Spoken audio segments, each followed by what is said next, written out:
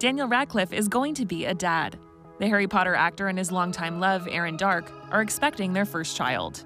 Daniel's rep confirmed the happy news to Access Hollywood on Saturday.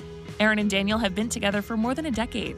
The pair met on the set of their 2013 film Kill Your Darlings and are known for keeping their romance largely out of the spotlight. When Erin joined Daniel at the premiere of his movie, The Lost City, last year, it marked their first red carpet appearance together since 2014. The Miracle Workers actor has spoken about how much he enjoys their life together. He told People magazine last spring, I've got a really nice life.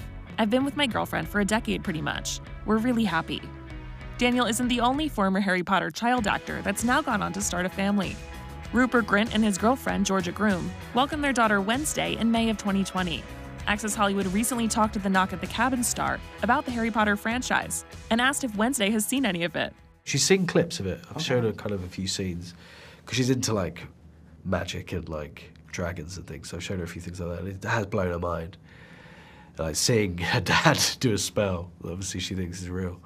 Um, so yeah, no. I, later, I think when she's kind of a bit older, I'll introduce them to her. But I think it'll be fun. Yeah, it'll be really exciting. and I know you recently teased uh, you'd be willing to return to the franchise. Have there been any conversations surrounding that? No, not at all. Um, I think yeah. I mean, I kind of I haven't really given it kind of a major thought really, but I think yeah, I I, I think it would be fun. Yeah, I mean it's a big part of my life. And if everyone else was kind of gonna be there, I, I don't see why not. You still keep in touch with everyone else? Yeah, yeah, uh, definitely. Yeah, I mean it was we spent so much time with each other. Uh, we kind of experienced this very unique thing that only us really kind of understand. But um, so we'll always have that kind of link.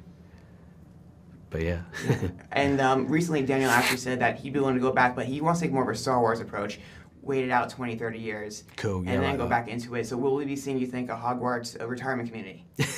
yeah, I can see it. We'll see how Ron ages kind of in the last movie. Um, I don't know how I'm going to look then, but uh, yeah, we'll see. Uh, but yeah, no, I think that's actually a, probably a better way of doing it, I think. Um, but also, I'd like to see maybe someone else do it, maybe just remake it in 20 years and yeah, that would be kind of pass it on.